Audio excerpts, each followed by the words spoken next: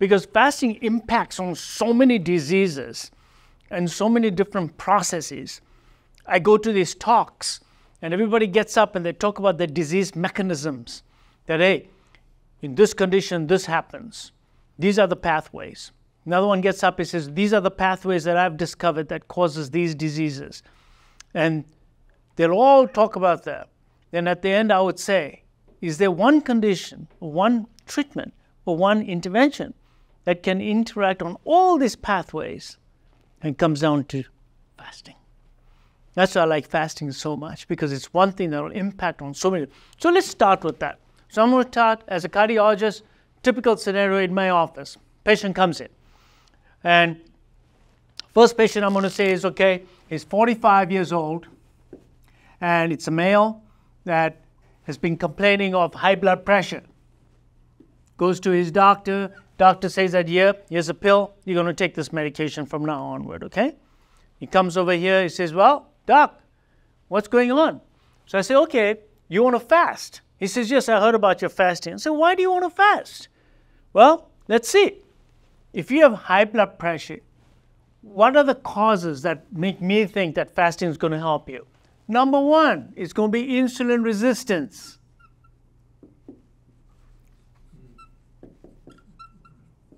If you have insulin resistance, insulin, when it's very high, causes nitric oxide depletion. So nitric oxide is a vasodilator, so you get vasoconstriction instead. So you're going to get high blood pressure.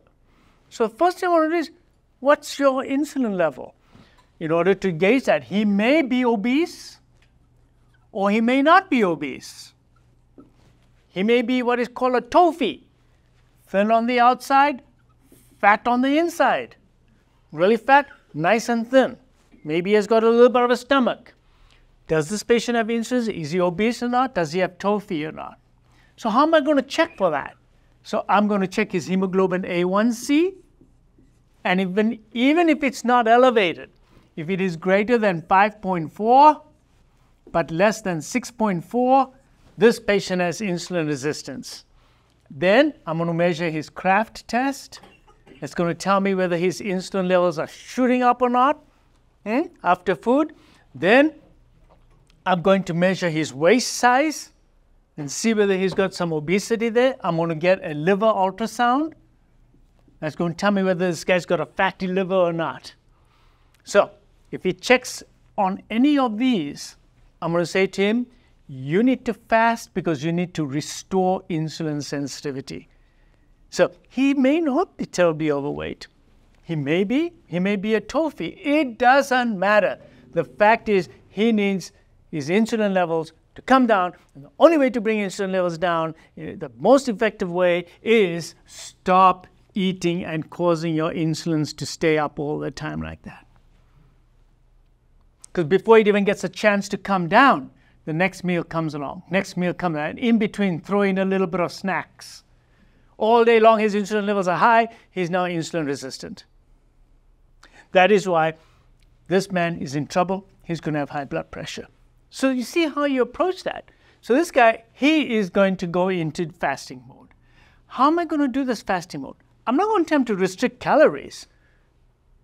There's nothing to do with calorie counting. This is going to be about eating only once or twice a day. Now, I'll look at him and I'll see how strong he is. Do you really want to lower your blood pressure without medications? Yes, I do. Okay. All right. Do you like breakfast? Eh, sometimes I don't like it. Skip it. You don't need it. Do you like lunch?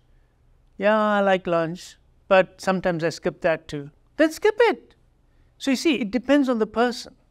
So then I'll tell him, skip your lunch, skip your breakfast, and just have a dinner. Just one dinner. Actually, you won't get a spike like that. He'll actually get very little insulin. Why? because all day his insulin has been so low that when he did eat that meal in the evening, he's going to make very little insulin because he's sensitive. And because he made very little insulin, what's going to happen? Insulin, insulin. What does insulin do? Gives you a fatty liver. So immediately, immediately, because his insulin levels are so low, he's going to stop putting on fat here. All this is going to start going down. is fat around the pancreas, all the visceral fat is going to start going out. So he'll start losing all this. He'll also, by the way, lose weight on his tongue. Tongue is mostly fat. That's why he can wobble around so much. Yeah? So you lose a lot of weight in your tongue. The first 20, 30 pounds you lose, it's this disproportional weight loss on your tongue. That's why sleep apnea gets better, snoring gets better. People immediately say, Oh my God, I'm sleeping so much better. I'm not snoring so much. And by the way, snoring can also cause high blood pressure. Well, not snoring itself, but sleep apnea causes high blood pressure too. Hmm?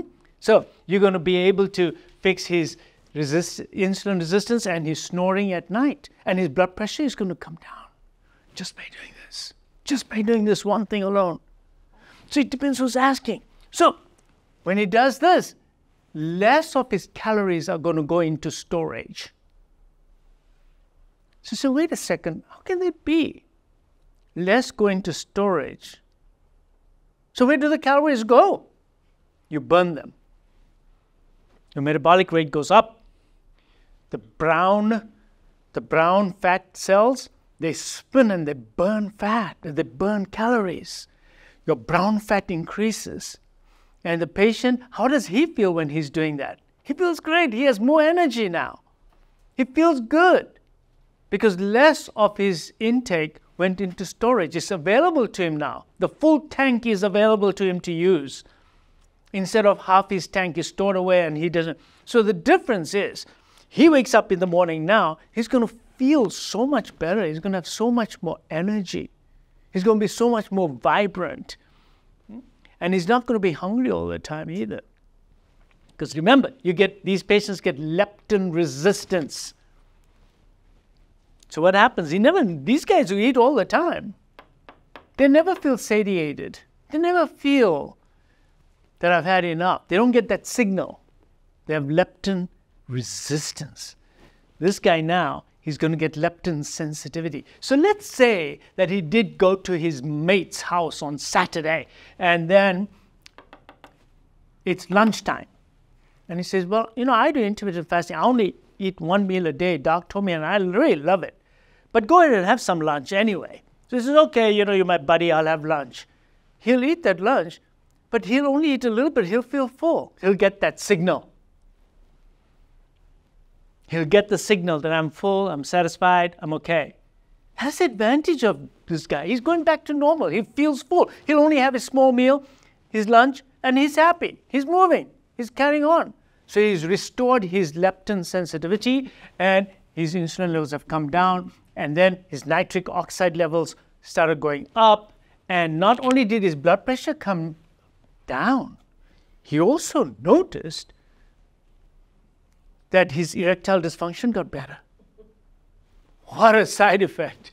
So, why did that get better? Because nitric oxide, it's all to do with nitric I can't tell you how many hundreds of patients we've done this on, and the ED got better. It's all got to do with nitric oxide. It's all got to do with nitric oxide.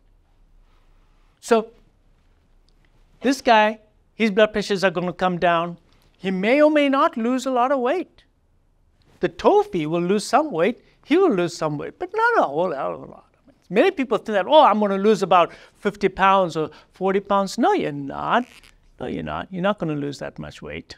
So, with him, the purpose of this fasting is to restore his hormones, bring his insulin level down. His Kraft test will normalize. One year later, I do the Kraft test, which is the insulin test, it becomes normal. I repeat the liver ultrasound in one year, his fat's gone.